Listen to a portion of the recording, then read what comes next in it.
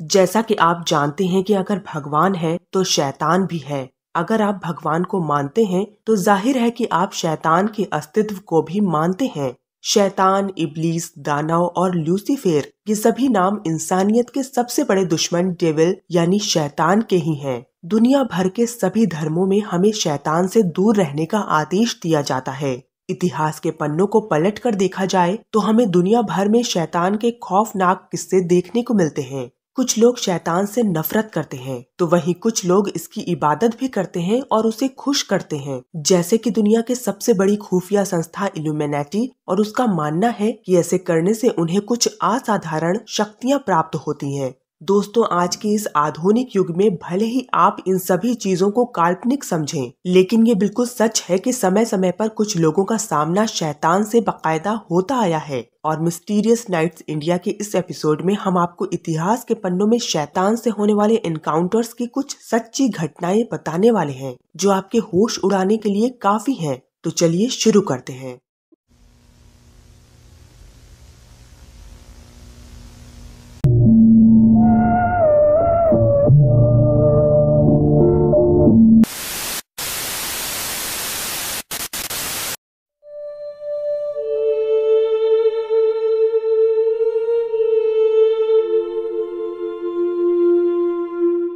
Lilias Adie, the romance with the devil मध्यकालीन युग में यूरोप में ऐसी मान्यता थी कि विचेस यानी डायने हमेशा शैतान से संपर्क में रहती हैं और उसे खुश करने के लिए वे उसकी पूजा भी करती हैं। यहाँ तक कि कुछ विचेस शैतान के साथ शारीरिक संबंध भी बनाया करती थीं और बदले में शैतान उन्हें सुपर नेचुरल पावर्स और हर वो लग्जीरियस चीज़ें ला कर देता जिनकी वो ख्वाहिश करती थी ये बात है लेट सिक्सटीन सेंचुरी की, जब ब्रिटेन के स्कॉटलैंड में लिलियास एडी नाम की एक लड़की रहती थी। उस इलाके में रहने वाली बाकी लड़कियों के विपरीत लिलियास एडी सबसे अलग थी, क्योंकि उसे सुपर नेचुरल और आसमान चीज़ों में बचपन से ही दिलचस्पी थी। ऐसा कहा जाता है कि काफ़ी मेहनत और मशक्कत के बाद उसने शैतान से संपर्क किया और उसके साथ एक सौदा कर लिया। माना जाता है कि शैतान रात के समय इंसान के रूप में तो कभी एक बीस्ट के रूप में लिलियास से मिलने आता और उसके साथ शारीरिक संबंध बनाता। समय के साथ साथ लिलियास की खूबसूरती निखरने लगी और उसके पास कुछ सुपर नेचुरल पावर्स भी आ चुकी थीं, लेकिन बहुत जल्द ही लोगों को लिलियास पर शक होने लगा। उस जमाने में विच क्राफ्ट प्रैक्टिस करना गैर कानूनी था और विचेस को बिल्कुल बर्दाश्त नहीं किया जाता था। जल्द ही लिलियास को गिरफ़्तार करके जेल में डाल दिया गया। कहा जाता है कि लिलियास के बारे में बिना किसी जाँच पड़ताल के ही उसकी जेल में बेरहमी से हत्या कर दी गई। बाद में उसके मृत शरीर को साल 1704 में स्कॉटलैंड की फिफे काउंसिल के पास एक बड़े पत्थर के नीचे दफना दिया। उसकी मौत के 200 साल बाद, यानी साल 1904 में टरी बर्न बीच के पास उसकी बॉडी को बाहर निकाला गया और उसके स्कल को एग्जामिन करने के लिए सेंट एंटियूस यूनिवर्सिटी म्यूज़ियम ले जाया गया, जहाँ से वे रहस्यमयी रूप से गायब हो गया। बाद में साल 2017 में यूनिवर्सिटी ऑफ़ डंडी के शोधकर्ताओं ने लेलियास एडी के स्कल की तस्वीरों के आधार पर उसका चेहरा तैयार किया, जिससे कि हमें अंदाज़ा होता है कि वो कैसी दिखती थी। Saint Dunstan's encounter with the devil. दोस्तों, एक संत का शैतान से सामना होना तो ज़ाहिर सी बात है। वो ऐसी शक्तियों को बड़े ही आराम से पहचान सकते हैं। ये बात है दसवीं सदी की। उन दिनों इंग्लैंड में ड्विंस्टन नाम के एक जाने माने प्रीस्ट रहते थे, जिन्होंने लोगों को दिव्य ज्ञान देने के साथ साथ ईश्वर के प्रति आस्था का प्रचार किया था। इतना ही नहीं, उन्होंने इंग्लैंड के लोगों को शैतान से कई बार बचाया था। प्रीस्ट होने के साथ साथ वे एक बेहद कौशल पेंटर, एक मेटल स्मिथ और बहुत अच्छे से हार्प इंस्ट्रूमेंट बजा सकते थे। कहा जाता है कि साल 988 ईस्वी में अपनी मौत से पहले ग्लेस्टन बरी में एक पादरी रह चुके थे। वैसे तो उनका सामना शैतान से बहुत दफ़ा हो चुका था, लेकिन बरी में उनके साथ हुई ये घटना काफ़ी डरावनी है। अब क्योंकि वो मेटल स्मिथ थे, इसलिए उन्हें अक्सर इस काम के ऑर्डर्स मिलते रहते थे। ऐसा ही एक ऑर्डर उन्हें किसी बुज़ुर्ग व्यक्ति ने दिया, जो कि ड्विस्टन से अपने लिए एक खूबसूरत प्याला बनवाना चाहता था। काम शुरू करने के बाद जब ड्विंस्टन की नज़र उस बुज़ुर्ग व्यक्ति पर पड़ी तो वो एक जवान लड़के में बदल चुका था। ड्विंस्टन ने एक बार फिर से उसकी तरफ़ देखा तो वो बुज़ुर्ग एक नौजवान लड़के से एक खूबसूरत लड़की में बदल गया। ये देखकर डुइंस्टन तुरंत समझ गए कि ये दरअसल शैतान है, लेकिन वो चुपचाप अपना काम करते रहे। उन्होंने टोंग्स उठाकर जलते हुए कोयले पे रख दिए। और उनके लाल होने पर डुइंस्टन तुरंत खड़े हुए और टोंक्स के ज़रिए उन्होंने शैतान को उसकी नाक से पकड़ लिया। वो चीखने चिल्लाने लगा और डुइंस्टन ने उसे अपने सेल से बाहर फेंक दिया। इसी तरह एक दिन डुइंस्टन जब अपने सेल में बैठकर हार्प बजा रहे थे तो एक भिकारी उनकी धुन सुनता हुआ उनकी तरफ़ बढ़ने लगा। डुइंस्टन समझ गए कि ये कोई भिकारी नहीं, बल्कि डेविल ही था। जो एक बार फिर से डुइंस्टन को बहकाने आया था। इसीलिए उन्होंने उसको हुफ से पकड़ लिया और उसमें एक हॉर्स शू लगाना शुरू कर दिया।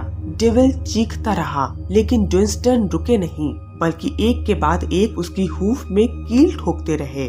आखिरकार डेविल सेंट डुइंस्टन से जाने की भीख मांगने लगा। इसके बाद से दोस्तों, जिस भी दरवाजे में भी हॉर्स शो लगाया जाता, वहाँ डेविल कभी भी नहीं जाता था। और तब से लेकर आज तक हॉर्स शो को नकारात्मक शक्तियों से सुरक्षा देने वाला और गुड लक प्रदान करने वाला माना जाने लगा।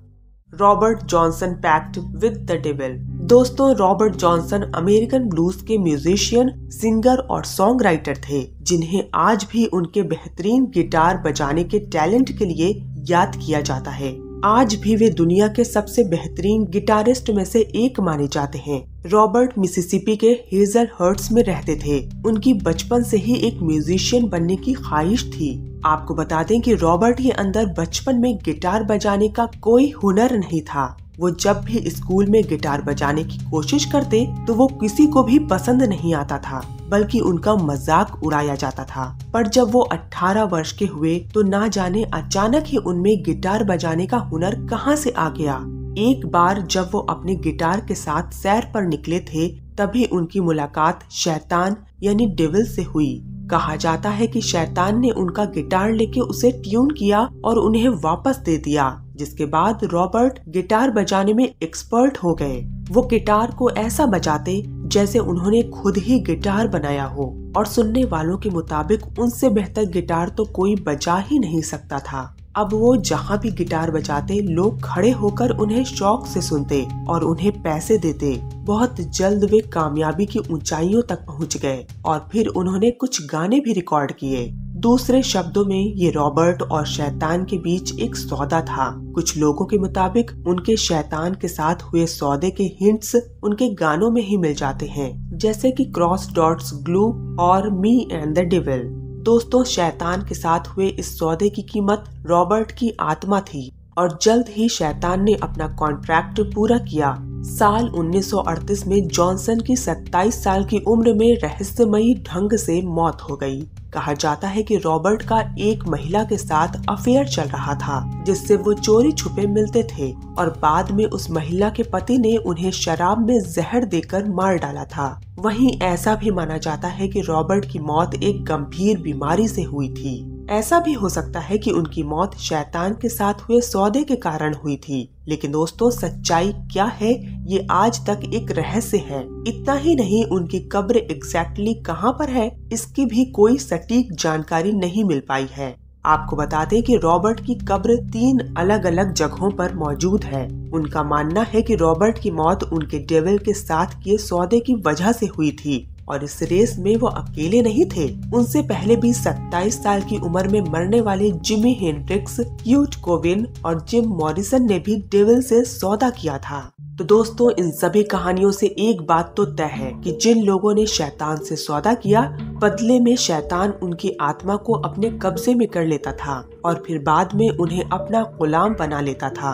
उन लोगों को इस दुनिया में तो सब कुछ मिल जाता था, लेकिन आखिर में उनका क्या अंजाम होता है, ये तो आप समझ ही सकते हैं। शैतान भले ही इस दुनिया में एग्जिस्ट करता हो, लेकिन वो हमारा तब तक कुछ नहीं बिगाड़ सकता जब तक कि हम अपने अंदर की बुराई को अपने आप पर हावी न होने दें और लगातार पूजा पाठ करते रहें। तो आज के लिए इतना ही। दोस्तों, अगर आपके साथ भी डेविल इनकाउंटर से जुड़ी कोई स्टोरी है तो आप हमारे साथ कमेंट सेक्शन में या फिर इंस्टाग्राम पर शेयर कर सकते हैं। हम मिलते हैं आपसे अगली वीडियो में। तब तक के लिए इजाज़त दीजिए।